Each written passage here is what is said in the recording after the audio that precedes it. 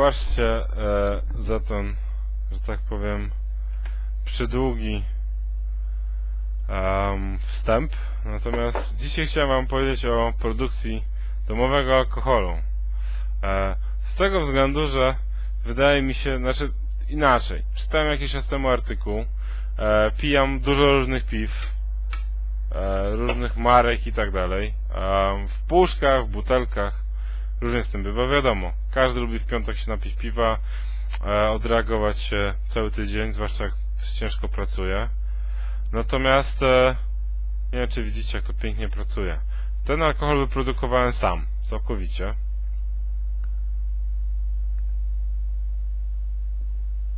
Mm. Lekko słodki, lekko wytrawny. Jest gdzieś tak pomiędzy. E, zamierzony, ale o tym za chwilę. W każdym razie, e, dlaczego chciałem dzisiaj, że tak powiem, zrobić taką odskocznię? Jest raz, że jest piątek, w zasadzie już sobota, jest druga w nocy. E, natomiast e, chciałem się wam, z wami podzielić, że tak powiem, moją nową pasją, tak? Czymś, e, czym zajmuję się od niedawna, czego się nauczyłem e, głównie dzięki e, dostępowi do internetu, tak? To znaczy w tym względzie, że e, no cóż, mam po prostu możliwość e, korzystania z internetu i tym samym nauczyłem się robić alkohol domowymi metodami. E, Jeżeli poszukacie na YouTubie, znajdziecie całą masę filmów od wina zrobionego z pomidorów e, po różnego innego rodzaju wynalazki. Wybaczcie, ale lubię, lubię rozmawiać i palić.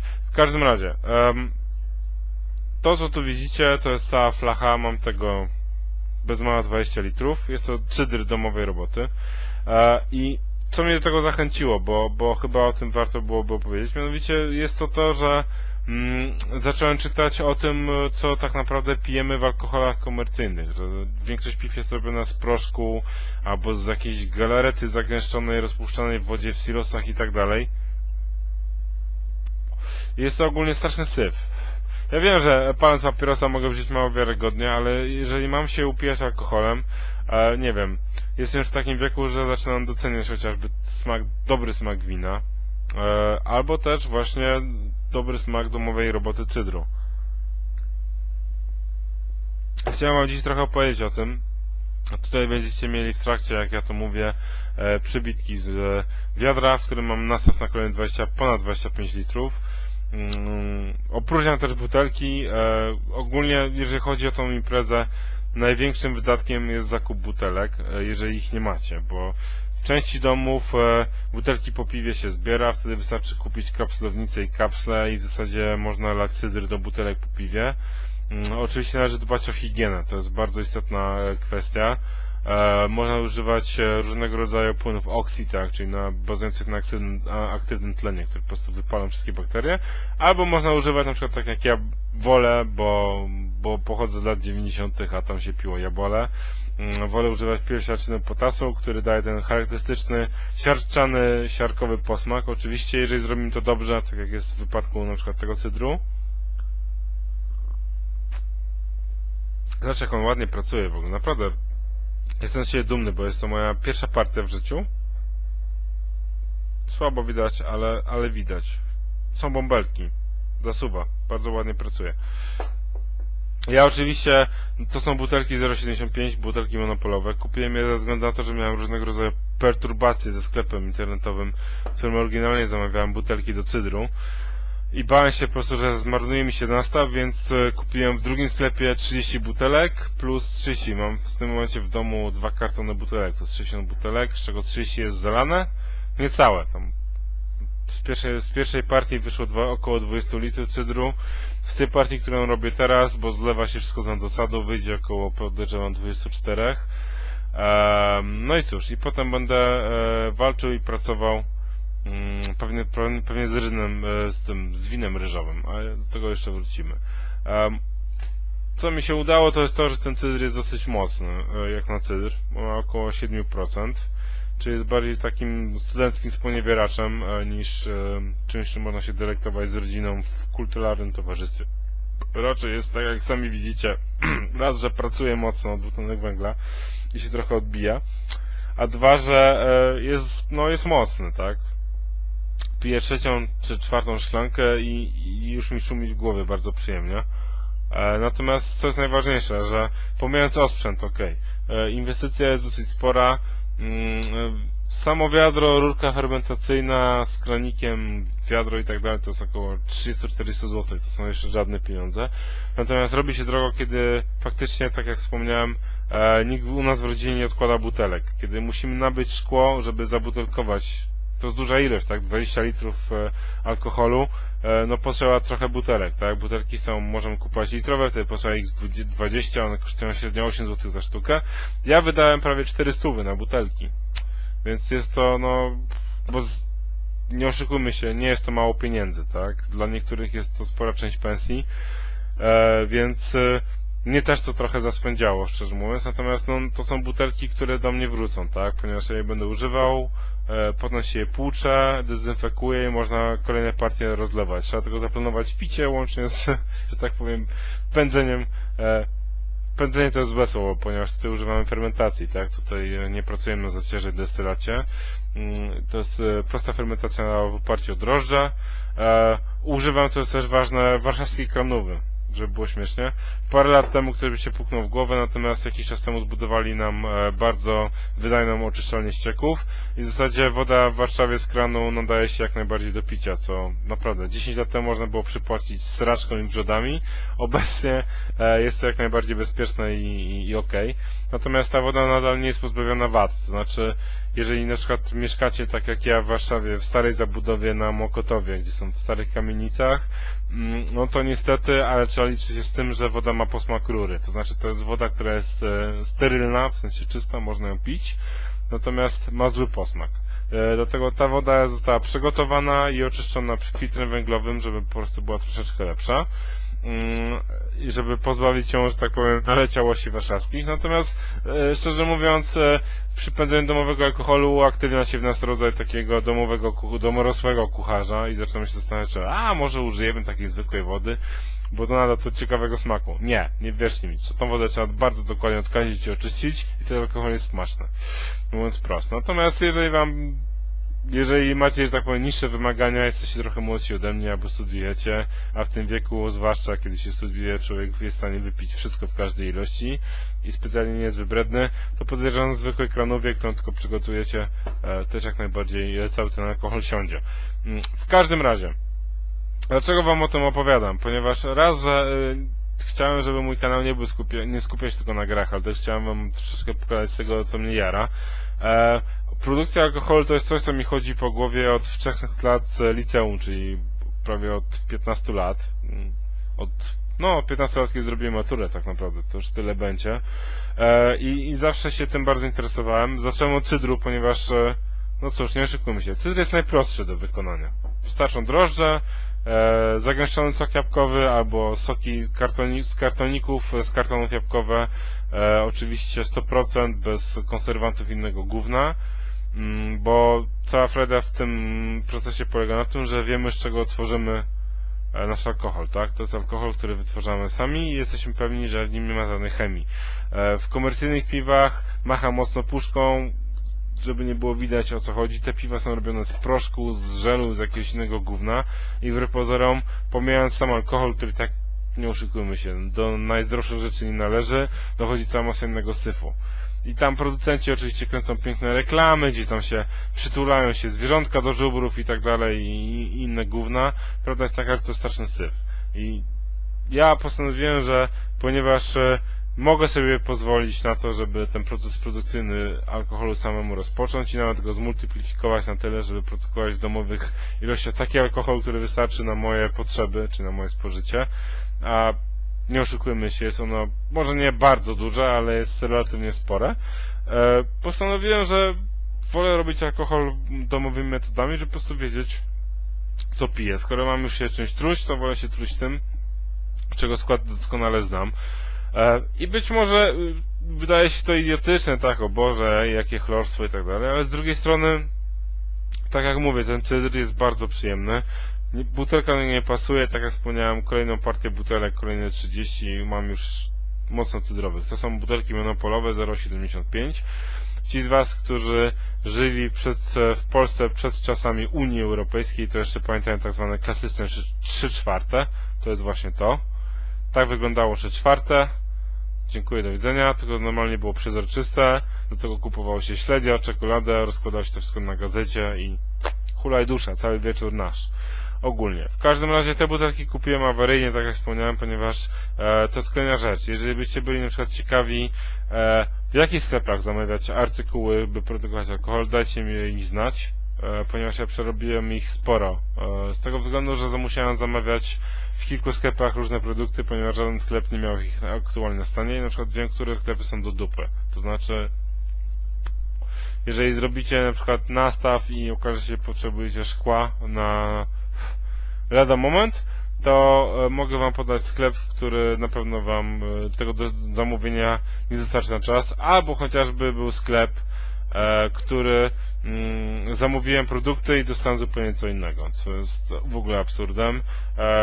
Z czystej przyzwoitości nie będę wymieniał jego nazwy, natomiast jeżeli jesteście ciekawi w komentarzach chętnie Wam napiszę, żebyście go unikali jak ognia, ponieważ to są goście, którzy po prostu są kompletnie niekompatybilni, mówiąc wprost, z obecnymi czasami i nie wiedzą, nie wiem, mam wrażenie i przy rozmowie przez telefon, kiedy dogadywaliśmy sprawy, dlaczego zamówienie doszło tak jak doszło i tak dalej, mm, miałem w ogóle wrażenie, że im przeszkadzam, więc e, nie wiem, ja jestem troszeczkę już bardziej na to wyczulony e, i, i, i mi się tego typu podejście, tak powiem, nie podoba. W każdym razie, jeżeli chodzi o cydr, e, produkcja cydru jest bardzo prosta. Jeżeli byście chcieli fajny przepis, też dajcie znać w komentarzach. E, to co tu widzicie to jest bardzo uniwersalny przepis e, bazujący na zagęszczonym soku jabłkowym w tym wypadku. Mm, natomiast e, kolejna partia, którą robię już jest zrobiona z własnoręcznie wybranych jabłek. A jeszcze na jesieni planuję, kiedy się pojawią gruszki, zrobić cydr gruszkowy, bardzo mocno wytrawny, ponieważ gruszki naturalnie są też owocami, które mają dużo cukru, być może się nawet pokuszę o to, żeby pozwolić im fermentować na naturalnych drożdżach. Zobaczymy, czy to się w ogóle uda. To będzie bardzo lekki cydr wtedy, około 2-3%, minimalna ilość alkoholu. Ten jest e, zrobiony z premedytacją jako sponiewieracz, ale jak widzicie już jest klarowny. Mm, I naprawdę wygląda bardzo fajnie i też nie wiem czy to widać cały czas, ale naprawdę nim pracują cały czas bąbelki. To jest tak jakby się nalali, dostali dobre piwo w pubie. Tutaj wszystko pracuje, cały czas zasuwa, jest bardzo dobrze nagazowane, mm, a używałem na, na, na taką flaszkę monopolową ilości cukru, która normalnie się stosuje na, na półlitrową butelkę. I ten cydr nie jest mocno gazowany, ja wolałbym, żeby był troszeczkę bardziej, ale to był eksperyment, ponieważ tak jak mówię, wydałem dużo pieniędzy na szkło, e, denerwowałem się, że mi butelki popękają, więc e, użyłem troszeczkę mniejszej ilości cukru, żeby mieć gwarancję, że na pewno się mm, cydr zagazuje delikatnie, ale nie, może nie tyle jak ja lubię, ale przynajmniej miałem tą gwarancję. Teraz już drugą partię wiem, że mogę dodać jeszcze około 1,5 grama cukru, czyli będę sypał na 0,7 około 5,5 grama i myślę, że te butelki spokojnie to wytrzymają i ten cydr już będzie mocno gazowany e, ogólnie. Mm, ale tak jak mówię, jeżeli jesteście ciekawi procesu, dajcie mi znać, kiedy będę robił trzecią partię, e, po prostu użyję kamery i nakręcę wam i wam to pokażę. Pokażę wam jak się odkaża, porządnie wszystkie produkty, żeby się żadne syfy nie, nie zalęgły. Pokażę Wam, jak się to wszystko hermetycznie zamyka, bo to musi pracować zalot oczywiście od tlenu, żeby po prostu drożdże miały na czym pracować i przerabiać cukier na alkohol. I cóż, i myślę też, że pokażę Wam proces butelkowania i, i, powiem Wam, gdzie i co kupić i ile to kosztuje i tak dalej. Tak jak mówię, e, cena wejścia jest dosyć wysoka, bo trzeba kupić sporo rzeczy, Zwłaszcza jeżeli, tak jak, tak jak ja, nie macie w ogóle butelek. E, najwięcej pieniędzy kosztowało mnie szkło. Te butelki są po około 6 zł za sztukę, ja ich kupiłem 30, więc jesteście w stanie łatwo użyć matematyki i policzyć ile to kosztowało. Mam jeszcze drugi rodzaj butelek, to są butelki 0,7, a nawet wam pokażę jedną z korkiem do tego. Dajcie mi chwilę.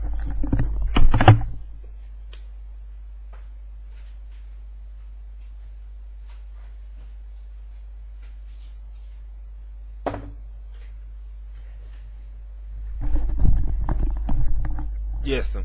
To jest butelka cydrowa, typowa, 0,7.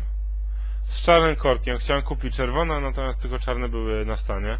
Ona już jest dezynfekowana i tak będę musiał zrobić to jeszcze raz, ponieważ e, stały w kartonie. Nie mam 100% e, gwarancji, że, że są sterylne, więc będę robił to jeszcze raz. A jak widzicie, ciemne zielone szkło przede wszystkim, dzięki czemu no, ciemnego ogólnie szkła albo zielonego, ciemnozielonego albo ciemnobrozowego używa się, wina też są ciemnozielone, tak? Głównie po to, żeby te butelki lepiej znosiły naświetlenie, tak? Światłem słonecznym, żeby się na żadne syfy nie namnażały. Mm, Jak widzicie, ta butelka też jest typowo cydrowa, tak? To jest butelka e, wręcz stworzona do zalewania cydru, to jest 0,7 butelka. Te butelki kupowałem po około złote 40, zł 50, kupiłem ich też 30. No jak sami umiecie dodawać, no nie jest to tania impreza, mówiąc wprost. Natomiast e, to jest pocieszające etykiety, tak, koszulki na nie można kupić taką zwykłą drukarkę A4, w czerni bieli wydrukować sobie, czy no nakleić po prostu i podpisać, to już kwestia burżuazji. Ja chcę zrobić sobie fajne etykiety, bo mam zamiar zaprosić znajomych na parapetówę zaległą i, i wtedy ten typ, przepraszam, jest mocno gazowany mimo wszystko. Czyli się udało. W każdym razie mam zamiar zaprosić znajomych i chcę, żeby e, no, co robię, zrobić sobie tak, ten tak zwany e, dla kurażu dobre wejście i wyjąć butelki, które miały raz, żeby no fajnie wyglądały, to są te butelki właśnie. Tych raczej, e, te raczej zachowam dla siebie na, na, na sponiewierkę e, w małym gronie. Natomiast te butelki zrobię parapetówę, one dostaną fajną etykietę, fajny projekt. Zresztą jakbyście chcieli, mogę ten projekt e, Wam udostępnić w plikach e, Illustratora, żebyście mogli sami też je wydrukować. E, To będzie jakiś tam mój własny rysunek. Jeszcze waham się nad pomysłem, mam parę projektów. Pewnie ostatecznie trafi, e, że tak powiem, no, mogę Wam go udostępnić, czemu nie? Jakbyście chcieli sami butelkować i mieć fajną etykietę, proszę bardzo. Plik będzie tak przygotowany, że będzie wystarczyło zmienić fonty będziecie mieli własną nazwę, tam nie wiem. Ja będę mieszkał na ulicy Kazimierzowskiej, to będzie to pewnie albo Słodki Kazimierz, albo e, Kazimierz, coś w tym stylu, nie wiem. Chodzi bardziej o frajdę, tak, że cała, cała przyjemność w tym polega na tym przede wszystkim, że, że robimy coś sami, tak, i że znamy skład, i czerpiemy z tego przyjemność, mówiąc wprost. I wydaje mi się, że, że jest to wbrew pozorom bardzo fajne. Mm, Bardzo Was zachęcam, zwłaszcza, że cydr jest takim alkoholem, że tak powiem, na wejściu jest bardzo prosty. Potem są piwa robione z zagęszczonych e, ekstraktów, które są też bardzo smaczne. Oczywiście wymagają troszeczkę więcej pracy e, i kombinowania. No i no oczywiście końcówka to są wina, no i a potem możecie już robić zacier destylować. Mm, To jest najwyższa szkoła jazdy, zwłaszcza, że tak naprawdę jeżeli chodzi o desty- sama destylacja jest, o ile jest bardzo prostym procesem, tak e, strasznie dużo zależy od raz od temperatury, którą trzymamy, a dwa przede wszystkim od zacieru. Mm, I chociażby ja teraz jadę do, do swojej dziewczyny, do, do jej rodzinnego miasta właśnie po to, żeby spotkać się z jej rodziną, która od lat pracuje w ten sposób na zacierach i, i robią bardzo dobre i nalewki porzeczkowe i tak dalej. To nie jest na zasadzie, że tam się miesza cukier i spirytus, cięczy wodą, tylko oni faktycznie robią zacier i destylują, tak? Oczywiście tam w granicach zgodności z prawem, wiadomo. Natomiast e, chcę się tego nauczyć, ponieważ taki alkohol jest dużo lepszy, tak? I po co kupować wódę e, za 30 zł, która jest przemysłowym gównem, skoro można sobie samemu to zrobić i, i trzeba z tego sa, z samą przyjemność. Tak jak mówię, ten cydr jest bardzo delikatny. Mm. Jest rewelacyjny. Jest lekko kwaskowaty. Gdzieś tam na dole się przebija ten cukier, który użyłem. Brzozowy. Ale bardzo minimalnie. Jest dla mnie mógł być jeszcze nawet troszeczkę bardziej kwaśny, mocniej gazowany, ale tak jak mówię, to jest moja pierwsza próba i jestem, jest naprawdę dobra. Jest, nie jestem rozczarowany. Myślę, że każda kolejna będzie coraz lepsza, ponieważ będę się więcej uczył, więcej rozumiał z tego procesu i więcej eksperymentował. Aż się nie mogę powstrzymać, jest naprawdę tak dobry cydr. Co prawda to jest rodzaj alkoholu, który najlepiej się pije w ostre upały. On wtedy sprawia najwięcej przyjemności e, ponieważ jest, e, jest to nadal na bazie soku jabłkowego, więc bardzo dobrze gasi pragnienie. Oczywiście e, lekki procent wp- wprawia nas dobry rausz do grilla przed piciem czegoś poważniejszego do mięcha w sam raz. Oczywiście butelka 0,7 tego rodzaju trunku. Ten, który tutaj jest ma około 6,5-7%, ja dokładnie nie wiem. E, Jak robiłem e, mierzem nastaw, to wychodziło około 7, ale wiadomo, że tam trochę się mogło w międzyczasie ulotnić, że tak powiem.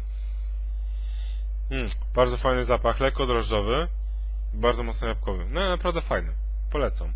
I tak jak mówię, jeżeli byście chcieli przepis, dajcie znać, pokażę wam jak ja to robię. E, Tydzień do 9 dni, 10 maksymalnie, zależy od temperatur, które macie w domu. 10 dni na fermentację, butelkowanie z docukrzeniem, żeby się zagazował, hermetycznie mocne zamknięcie i po dwóch, trzech tygodniach już możecie się cieszyć własnej roboty domowym cydrem. Bardzo smaczne zresztą. Rewelacja, naprawdę. Rewelacja. Jeszcze sobie doleję jedną szklaneczkę przed snem. A, a z wami się będę żegnał i tak jak wspomniałem, jeżeli macie pytania, jeżeli was to interesuje, dajcie znać. z przyjemnością wam opowiem o jak się to robi. A zwłaszcza tak jak mówię, no z tego co ja czytałem, to e, no niestety, ale to co pijemy, to co jest w sklepach dostępne komercyjnie mówiąc wprost, to jest straszny syf po prostu. I szkoda na to zdrowia i czasu, skoro można sobie naprawdę e, bardzo prostym kosztem wyprodukować tak wysokiej jakości alkohol. Ta kamera niestety bardzo słabo łapie ostrość, to jest typowy webcam. E, moja dobra, to naprawdę dobra kamera e, niestety została u rodziców w, w domu. Hmm.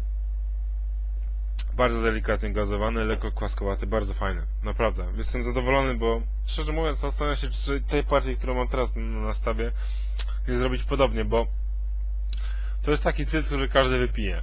Ci, którzy robią wytrawny cydr, znajdą w tym troszeczkę kwasku i, i odpowiednią, że tak powiem, ilość e, braku słodyczy, a ci z kolei, którzy po prostu lubią alkohol, żeby się na, narąbać, to ta słodycz, która tutaj jest, naprawdę, powiem wam szczerze, że jestem, jestem w szoku, że mi taka dobra partia wyszła. Mm. Naprawdę jestem zszokowany i to pozytywnie, bo to jest to, jak ja mówię, moja pierwsza próba, a wyszło naprawdę świetnie. On pięknie pracuje, tego nie widzicie na kamerze, ale tutaj zasuwają pięknie bąbelki. To jest bardzo ładnie e, na, na, nagazowane dwutlenkiem węgla. To jest druga partia, że tak powiem, cukru, który już szedł do butelek i wyszło świetnie. Jest delikatnie bardzo gazowany, lekko mętny, ale tak jak mówię, no te butelki nie są idealne do tego, wystarczy ją trochę wzruszyć, ten osad z dołu rusza. To jest podejrzewam kwestia jeszcze tego, że ten cydr powinien jeszcze tydzień postać, może dwa, może trzy, żeby się ten osad całkowicie odsadził i przy nalewaniu, żeby on był klarowny, ale jest naprawdę smaczny. Zaczyna mi, kurde, za mocno szumieć w głowie, więc będę się z wami żegnał. Zapraszam was, jeżeli jesteście ciekawi, chcielibyście więcej o tym posłuchać, albo dowiedzieć się, gdzie szukać informacji, bo tego na YouTube jest bardzo dużo i są to bardzo zdolni i fajni ludzie, którzy robią wiele z tego rzeczy. Dajcie znać, wyślę wam linki. A cóż, ja się z wami żegnam. Mam jeszcze ponad pół butelki cydru i pewnie jeszcze jedną dziabnę po drodze. Pogram sobie w Hearthstone'a. Hearthstone'a specjalnie nie nagrywam, bo jestem tym kiepski, natomiast dużą frajdę mi ta gra po prostu sprawia. E, I cóż, dziękuję bardzo serdecznie za uwagę. I do scydrowania, mówiąc wprost. Cześć!